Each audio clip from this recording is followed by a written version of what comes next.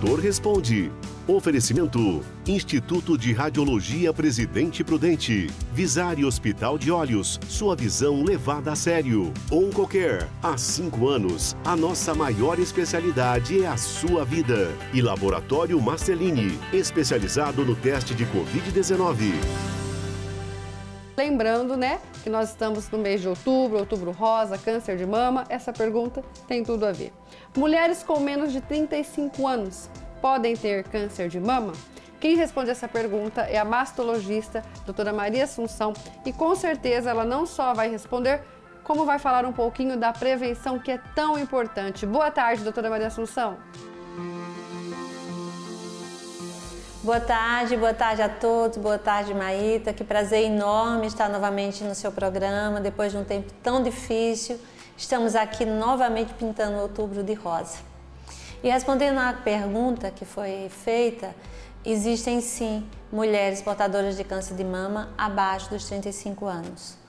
No Brasil, nós temos é, uma estimativa que cada ano mais de 66 mil mulheres são diagnosticadas com câncer de mama e 5% dessas mulheres têm a idade abaixo de 35 anos. Isso é um fator preocupante e isso reforça o movimento promovido pela Sociedade Brasileira de Mastologia com o slogan quanto antes, melhor.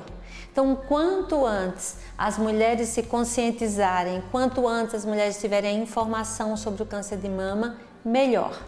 Porque todas as mulheres em qualquer faixa etária pode ser acometida, mesmo que seja bem mais raro, porque a doença comete mais mulheres após os 45 anos de idade. Mas vamos aproveitar a oportunidade, vamos falar um pouquinho sobre o câncer de mama.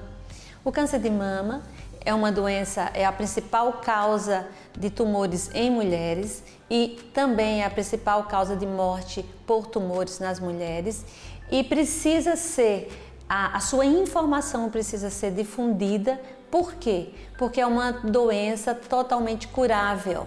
Mais de 95% dos casos diagnosticados são curados se a doença for detectada precocemente. Então, vamos praticar hábitos de vida saudáveis e vamos diminuir a mortalidade do câncer de mama.